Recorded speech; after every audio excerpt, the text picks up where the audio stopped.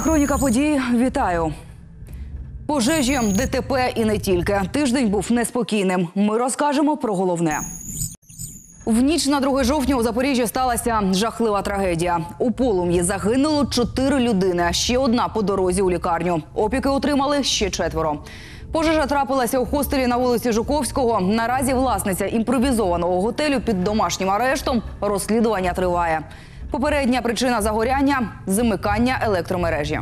Це оперативні кадри Держслужби з надзвичайних ситуацій. Приблизно о третій годині ранку сюди вирушили 15 автоцистерн та 52 рятувальники. У будівлі біля центрального ринку Запоріжжя на другому поверсі виникла пожежа. На вікнах були встановлені грати. Люди опинились у пастці. Горело сильно, ну как бы тяжело было им работать. С той стороны начало гореть, потому что когда тут уже начала пожарка работать, уже сюда пламя пошло. Бійці ДСНС одночасно боролися з пожежею і проводили евакуацію. З вогняного полону було врятовано чотири людини, серед яких восьмирічна дівчинка. Прогноз э, пока сомнительный, состояние тяжелое, стабильное. На сегодняшний день могу сказать так. Э, Тяжесть состояния обусловлена ожогами дыхательных путей и токсической дымовой ингаляцией. То есть ожоги кожи, э, м, скажем так, не глубокие, скорее, скорее всего, то, что мы сегодня видим, на сегодняшний день не будут нуждаться в пересадке кожи эти пациенты. На жаль, під час розвідки вогнеборці виявили тіла чотирьох загиблих. Ще один постоялець хостелу від отриманих травм помер у кареті швидкої. Погибло трое ребят из Черниговской области по национальности азербайджанцы, которые недавно привезли картошку. Э, Также Мирза из Баку, ну, который давно жил в Запорожье э, и говорит, он как раз недавно говорил, хочу ехать домой. Э, И Алексеевич наш охранник. Вже о 3.46 рятувальники локалізували пожежу, а о 4.15 повністю ліквідували. Через сильну задимленість вогнеборці працювали в апаратах на стисненому повітрі. Ускладнювало ситуацію те, що приміщення будівлі знаходилося під напругою 380 вольт, а електрощитова для відключення знаходилася в зоні горіння. Коридори були обшиті горючими матеріалами, тому пожежа дуже швидко розповсюджувалася по приміщеннях. Е, Крім того, е, знадобився деякий час для відключення електроенергії, щоб ми могли приступити е, до повномасштабного гасіння пожежі. Наразі місце події оточено аварійною стрічкою. За фактом події розпочато кримінальне провадження. Як з'ясувалося в ході попереднього розслідування, хостел розпочав свою діяльність з кінця 2016 року. Перевірки дотримання вимог пожежної, техногенної безпеки та цивільного захисту протягом цього часу не проводились. Декларація відповідності матеріально-технічної бази вимогам законодавства з питань пожежної безпеки до головного управління не надходила. Мабуть, це е, ви- виникло за того, що не було можливості в них е, через вікна евакуюватися. Всі вікна були закриті, а сходова клітина тільки одна була. Можливо, електроприбори, а можливо, хтось необачно повів себе з вогнем. Уголовное дело возбуждено как по самому пожару, так и по ряду должностных лиц, потому что у нас э, 100 нянек, а дитё без глаза. У нас куча контролирующих органов, которые не видели на протяжении, насколько мне известно, последнего года о том, что это частная гостиница, нигде не зарегистрировано, нигде не значится, и э, здесь проживают люди в непонятных условиях, Господарка приміщення жінка 1984 року народження, яка здавала в оренду кімнати, затримана в порядку статті 208 Кримінально-процесуального кодексу України.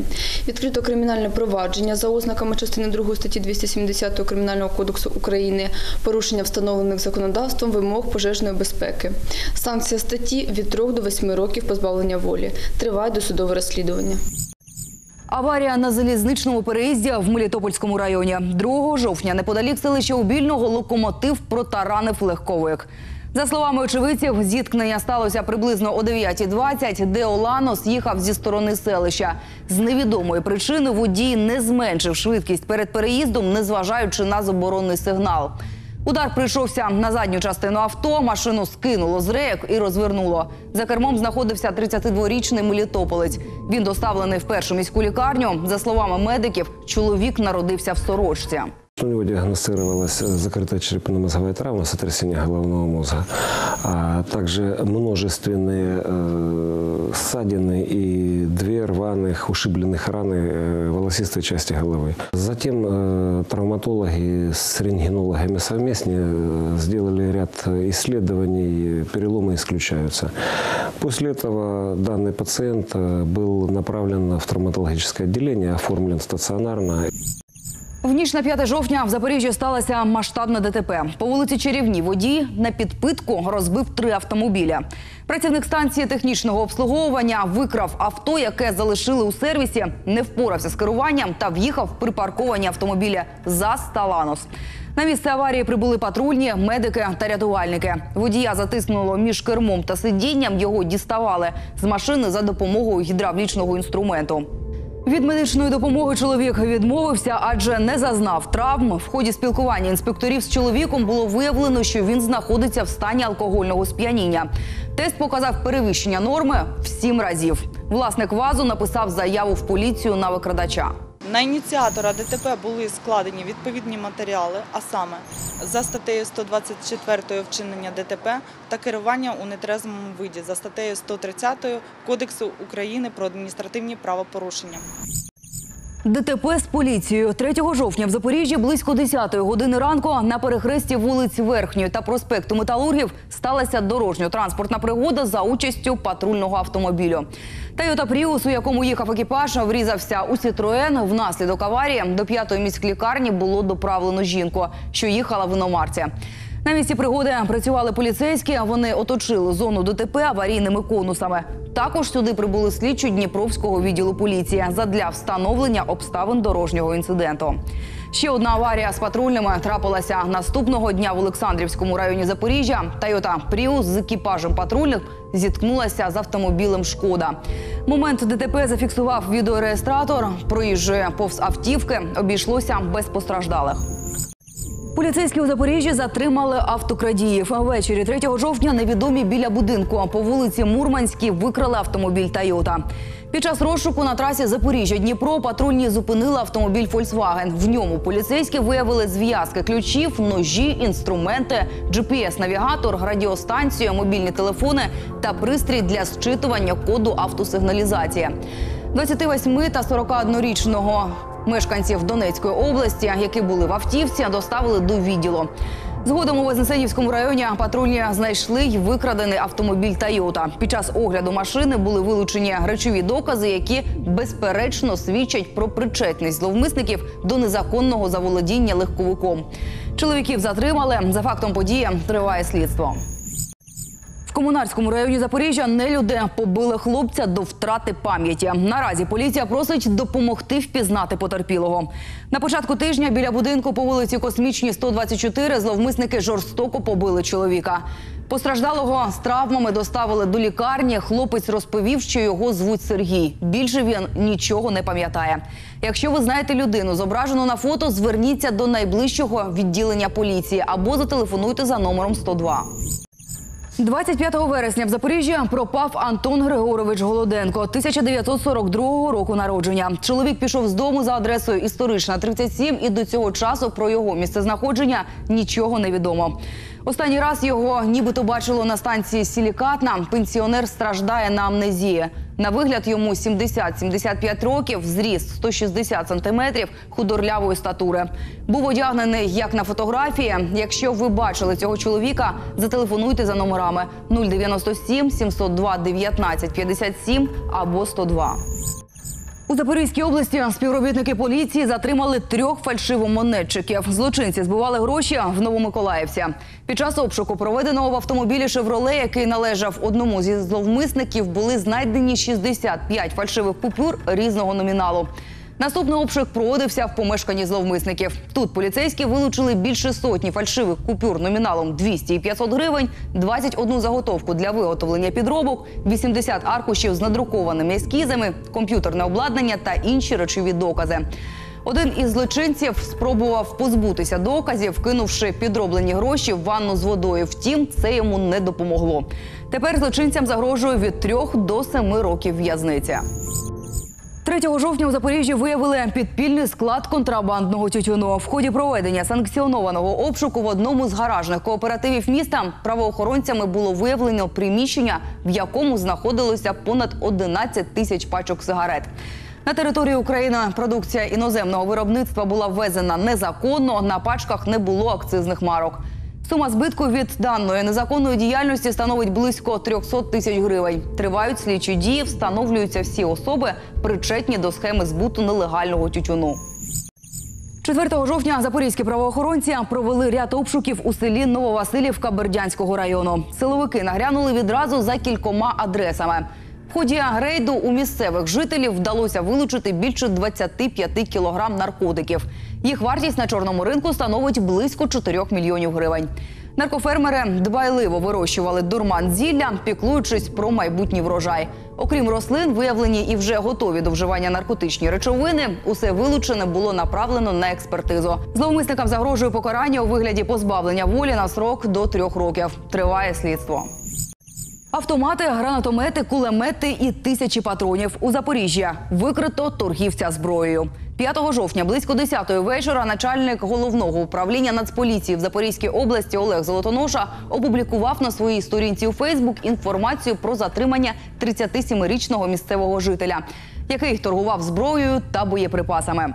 В ході обшуку у продавця вилучено солідний арсенал. Наразі правоохоронці мають встановити канал поставки зброї і боєприпасів. Зловмисник затриманий. Йому загрожують до 7 років в'язниці. В ходе обыска у злоумышленника изъят автомат АКС-74, 6 гранатометов, 40 снарядов к подствольному гранатомету, 33 ручные гранаты, тротиловая шашка, 644 патрона калибра 7,62 мм, 3640 патронов к снайперской винтовке, 277 патронов к автомату Калашникова. Также изъят пулемет с пулеметной лентой, 4 сигнальные ракеты и другое. У Запоріжжі поліцейські провели обшуки у членів громадської організації, яких підозрюють у тому, що вони розтрощили зал ігрових автоматів у обласному центрі.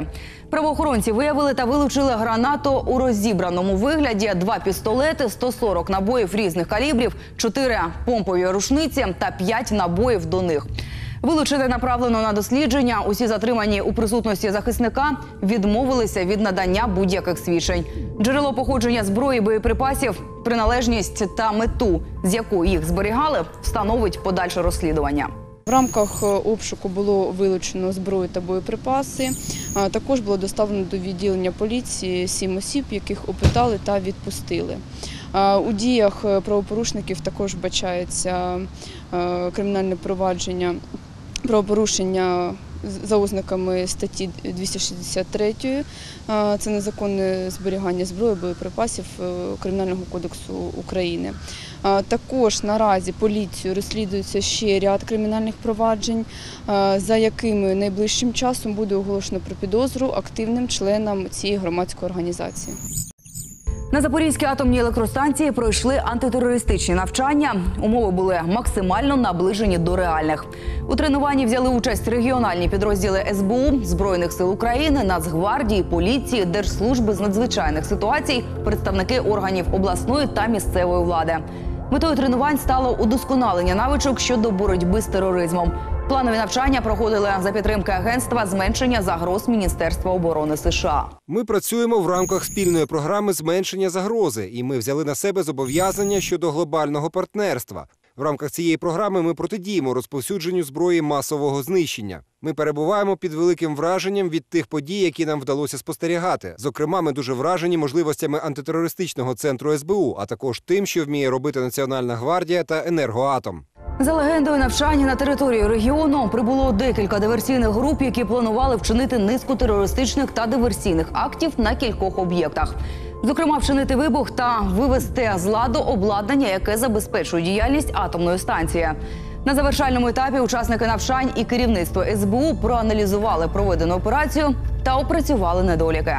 Реально это такая эксклюзивная возможность и неординарная ситуация, когда на объекте повышенной опасности мы получили возможность проводить целый комплекс мероприятий, которые э, являются как бы постановочными задачами, задачами учений наших. Для того мы и проводим наши учения, чтобы максимально усовершенствоваться Якщо ви стали жертвою шахраїв, свідком події або у вас є цікавий відеоматеріал, пишіть главред.tv5.zp.ua. Ми знаємо, як вам допомогти.